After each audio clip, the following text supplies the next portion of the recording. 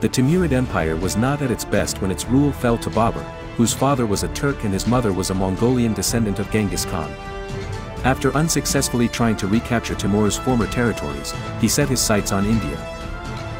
Beginning in 1519, he launched a series of probing attacks on the Punjab region, ruled by Ibrahim Lodi, Sultan of Delhi. In 1525 he saw his real opportunity and advanced to Delhi where he repelled a counterattack by the Lodi forces. Hearing that the Sultan's main force of about 100,000 soldiers was approaching, he regrouped at Panipat, 85 kilometers north of Delhi to meet them. Babur's small army of about 10,000 men possessed the best qualities of his Turkic and Mongolian heritage. It consisted mainly of a mobile and disciplined force of horse archers and also learned the use of gunpowder weapons from the Ottomans, equipping its infantry with firearms and artillery. Knowing the numerical superiority of his enemy, Babur positioned the right flank next to the city of Panipat and protected the left with several trenches. He fortified the center by raising a barrier of 700 charts and behind him placed the cannons and the infantry with firearms.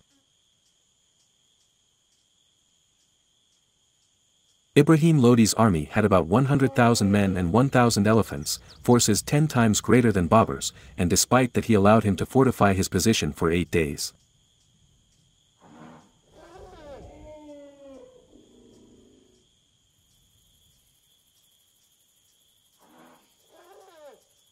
Finally Lodi gave the order to attack sending his elephants and cavalry against Babur's positions.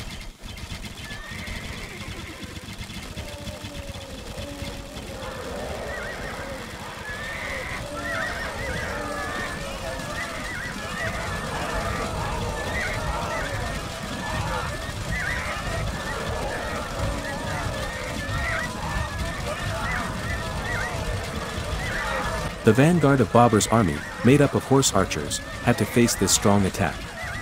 The left wing suffered heavy casualties and had to withdraw behind the fortifications. Seeing this flank in trouble, Babur sent his reserve infantry to reinforce it. However, when the elephants arrived at the barrier, they fled terrified by the sound of the Mughal cannon shots and firearms.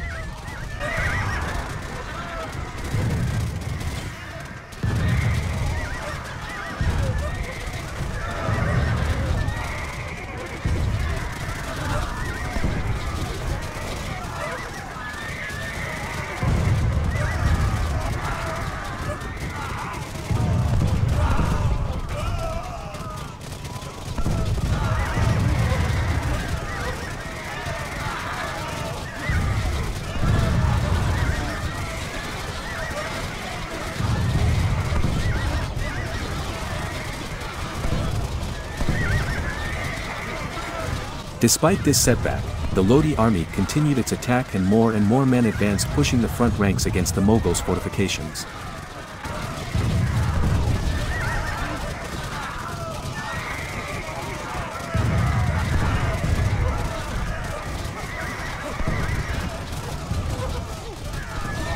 This is when Babur puts the most important part of his strategy, the Tulguhma, into motion, throwing the Mughal right and left flanks forward and encircling the Lodi forces, except those to the rear.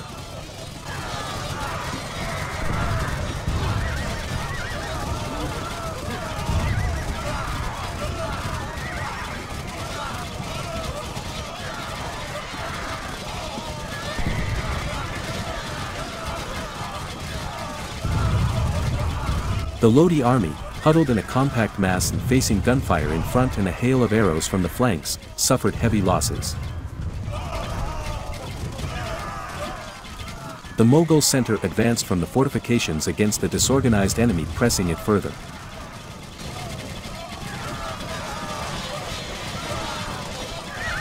In a desperate charge, Lodi himself was shot down and the entire army fled.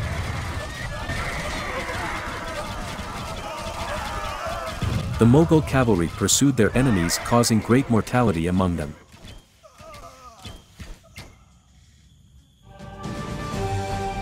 The Battle of Panipat was one of the first engagements in India in which firearms and cannons were used.